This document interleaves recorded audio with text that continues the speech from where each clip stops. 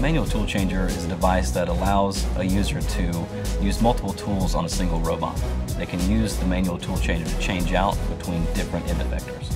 It's common for users to employ a manually actuated tool changer when they don't have air pressure available. Manual tool changers don't require any sort of utilities because they're mechanically driven.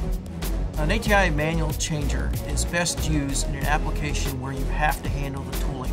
So if you're using the robot and the robot application is such that the robot is presenting the tooling to the person and the person then has to get the tooling off and replace it with another piece.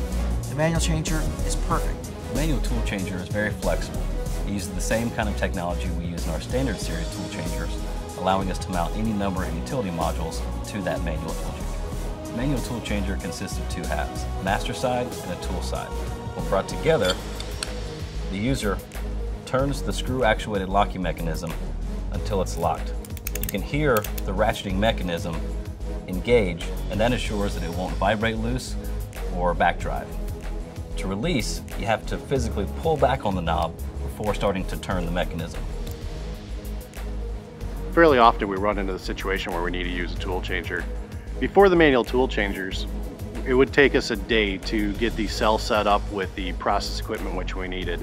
Now, we can set up the cell that morning in a matter of minutes to be able to be welding before even lunchtime.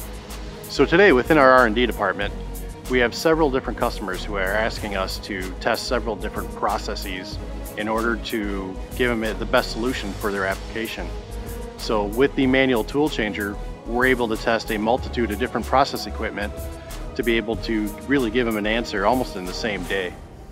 For customers who already changing tools by hand, but they're doing it laboriously, that is, they're having to use tooling in order to get stuff undone. It takes time, and more importantly, it doesn't assure that the parts come on and off accurately. Step in ATI manual changer, and you can do the manual tool change fast and efficiently.